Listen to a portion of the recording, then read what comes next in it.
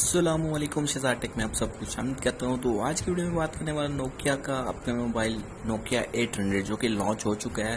بہت ہی tough mobile ہے مطلب کہ یہ ٹوٹے گا نہیں، تینتیس دس سے بھی زیادہ اسٹرانگ بنایا گیا اس کا نام بھی رکھا گیا نوکیا ایٹ ہنڈریڈ ٹف تو فی الحال تو اس کے اندر اسپیسیفکیشن اور فیچرز کی بات کریں گے کہ کیا چیزیں ہمیں پرووائڈ کی جا رہی ہیں۔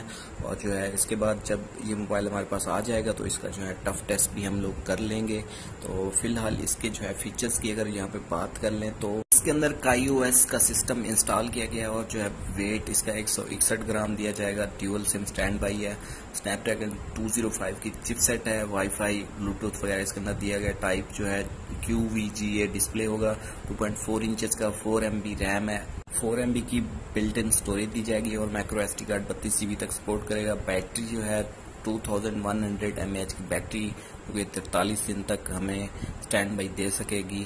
اس کے علاوہ اگر بات کر لیں یہاں پہ کیمرہ کی تو ٹو میگا پکسل اور لیڈ فلیش کے اندر دی گئی ہے۔ ٹوینٹی پی پہ آپ ویڈیو ریکارڈ کر سکتے ہیں اور فرنٹ پہ کوئی کیمرہ نہیں ہے۔ فرنٹ فلیش لائٹ بھی کوئی نہیں ہے۔ Three point five M M jack دیا گیا ہے۔ تو Nokia eight hundred tough Pakistani market میں بیس ہزار کے راؤنڈ باٹ ہمیں دیکھنے کو مل جائے گا۔ تو فی الحال اتنا ہی تھا۔